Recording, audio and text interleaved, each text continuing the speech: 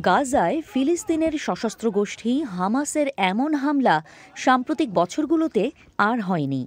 আমরা কিছু video footage দেখতে যাচ্ছি যা আমরা যাচাই করতে সক্ষম হয়েছি, যাতে বোঝা যাচ্ছে কীভাবে এই হামলাটি উন্মোচিত হয়েছে। শনিবার সাত অক্টোবর সকালে গাজা থেকে ইসরায়েলের ভেতরে হাজার হাজার রকেট ছোঁড়ার মধ্য দিয়ে এই হামলা শুরু হয়।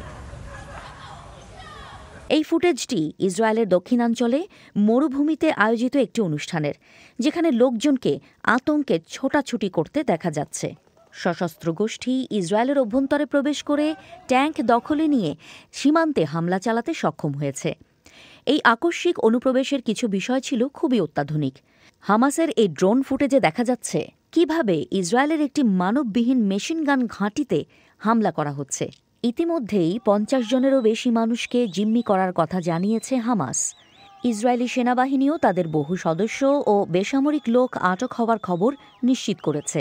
একজন ইসরায়েলি নারীকে একটি জিপের পেছন থেকে চুল ধরে টেনে হিঁচড়ে নামিয়ে আবার ভেতরে ঢোকানো হয়। তার হাত পেছনে বেঁধে রাখা হয় এবং তাকে খুব মারধর করা হয়েছে বলেও মনে হচ্ছিল। অবধারিতভাবেই ইসরায়েলও এই হামলার তীব্র প্রতিক্রিয়া জানিয়েছে। ওই পুরো অঞ্চল জুড়ে ইসরায়েলি বাহিনীর চালানো বিমান হামলায় এই এগারোতলা ভবনটিও বিধ্বস্ত হয়। তারা বলছে, ভবনটির কিছু অংশ হামাসের রেডিও কার্যক্রমের দখলে ছিল।